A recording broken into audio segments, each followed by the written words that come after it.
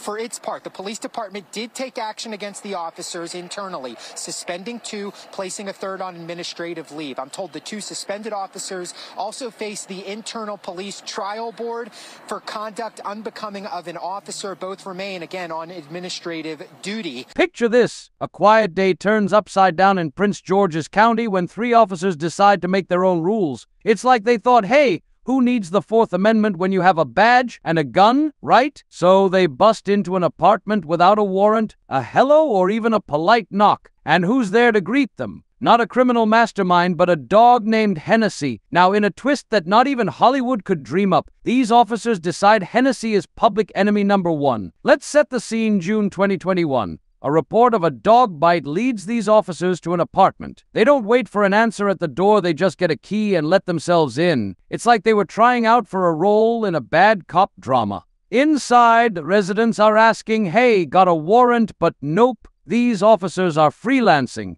Then, in a moment that could make you cry or scream or both, Hennessy makes a break for it. And how do our heroes respond? With bullets and a taser, Hennessy didn't stand a chance. And there's a resident trying to comfort Hennessy as she lays there, a tragic victim of a shootout she didn't sign up for.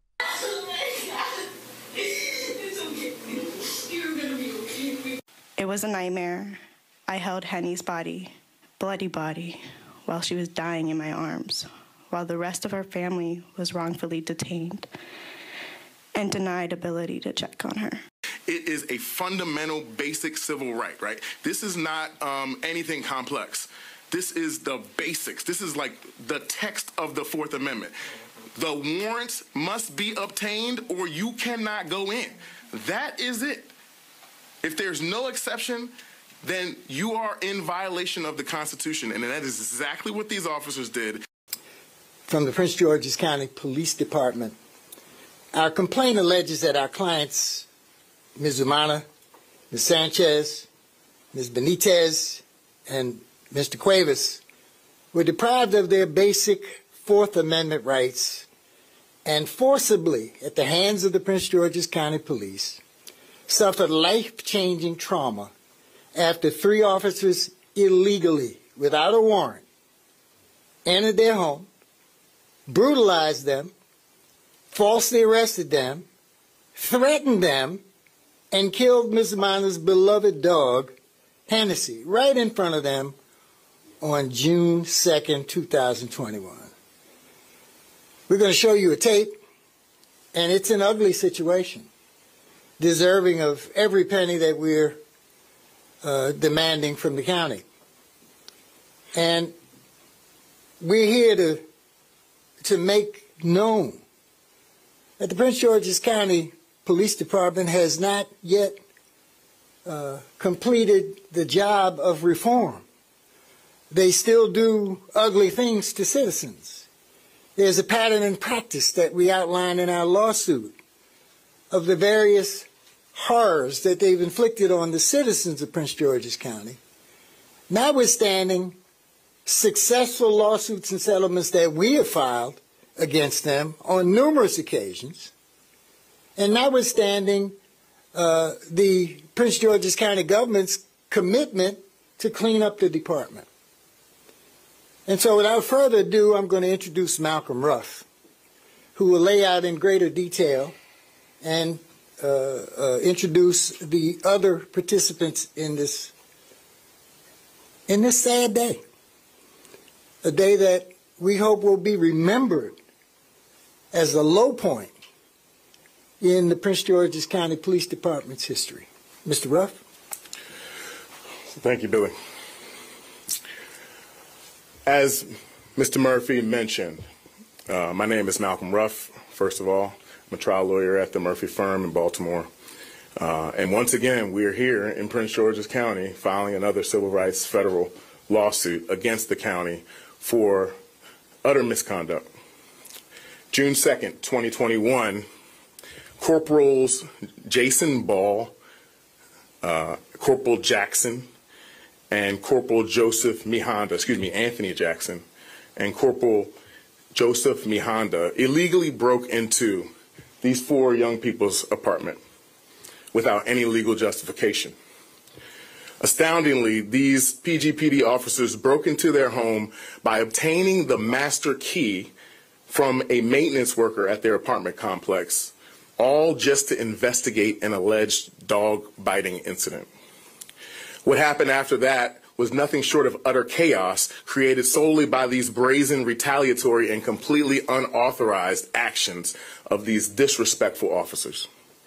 Unlike the numerous cases that Mr. Murphy, Mr. Murphy mentioned before that we've brought against the county, uh, in this situation, this incident was captured not only on cell phone, but also on body worn camera. And so at this time, I'm going to play a compilation of just some of the footage of this heinous incident, which these four brave young folk were forced to endure.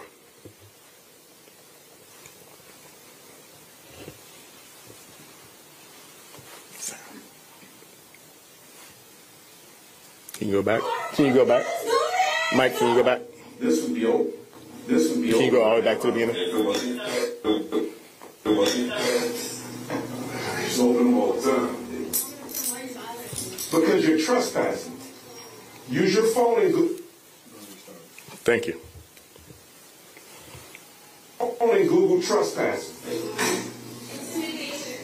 Google those words. Google. Now, you pay. Call maintenance, say goodbye, have them go to your apartment. All because they don't want to answer questions. Now, how are you, sir?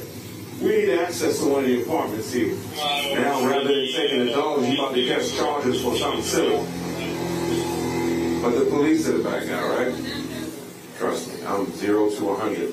So, it's hood rules. You know how it works. Come on now, this ain't no, this ain't new.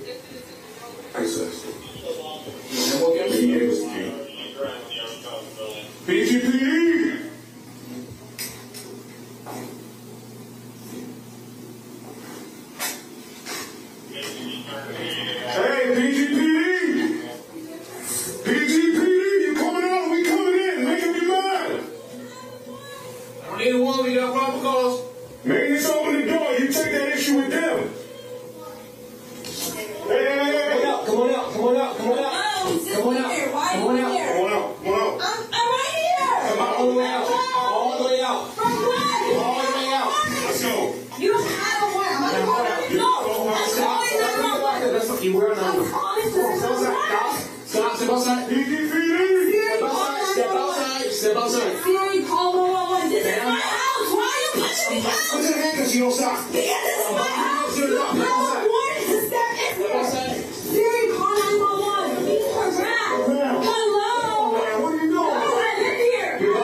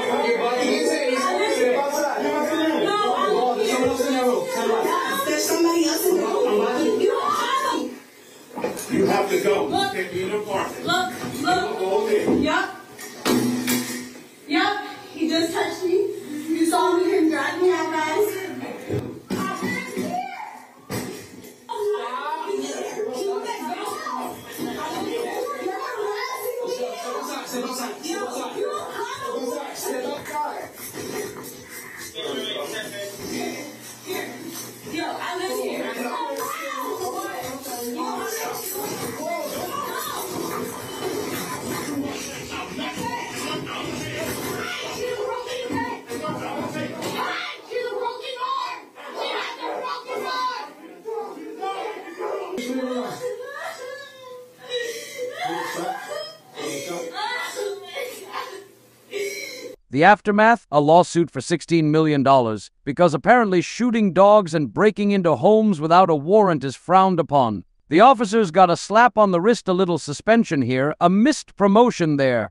Meanwhile, the residents are left with a nightmare memory and a bloody reminder of the day the law forgot the law.